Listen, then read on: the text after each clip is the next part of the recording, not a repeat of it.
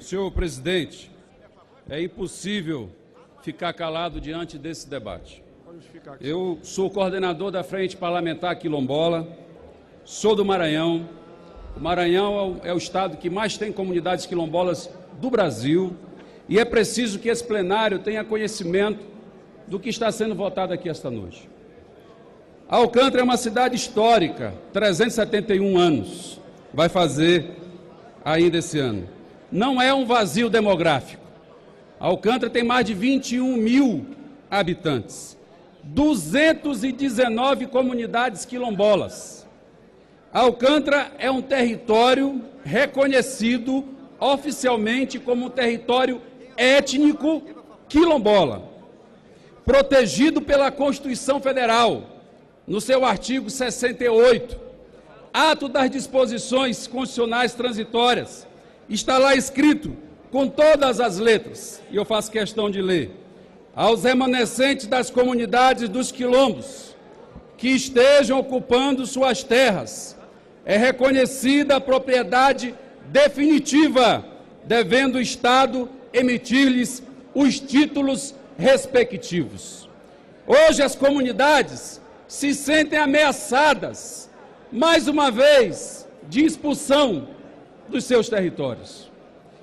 Isso já aconteceu no passado, quando foi implantado a base.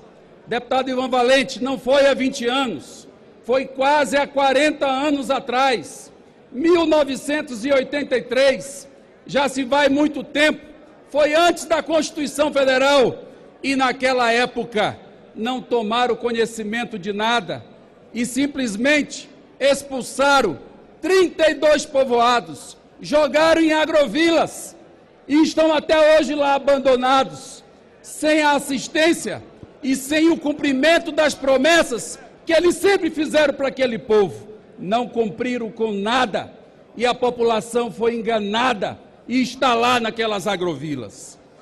Em 2008, o INCRA reconheceu as comunidades quilombolas através de um relatório técnico de identificação e delimitação de Alcântara. Em 2008 também, a, a Justiça Federal sentenciou, dizendo que as comunidades não podiam ser deslocadas. Mas depois de tudo isso, o que é que se fala hoje? E as falas são oficiais, nós ouvimos em audiência pública, que há sim a possibilidade concreta de remanejamento das comunidades quilombolas. Eles querem mais 12 mil hectares. Hoje tem 8 mil hectares a área. Isso representa o deslocamento forçado de mais de 2 mil maranhenses quilombolas que vivem naquelas áreas. Portanto, isso é um fato que foi relatado oficialmente em audiências públicas.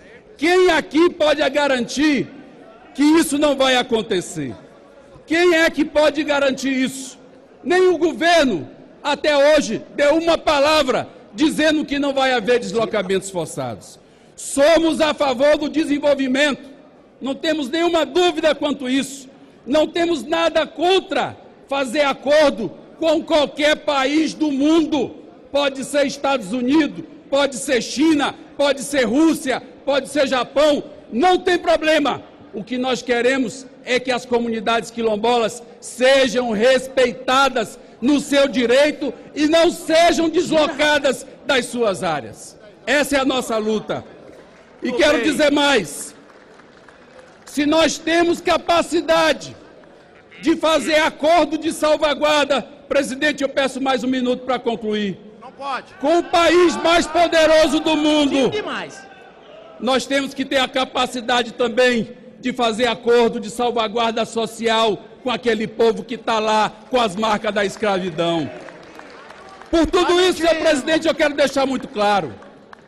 Em relação à urgência, como coordenador da bancada quilombola, eu não tenho como votar a favor e a bancada do PSB certamente não vai votar a favor da urgência.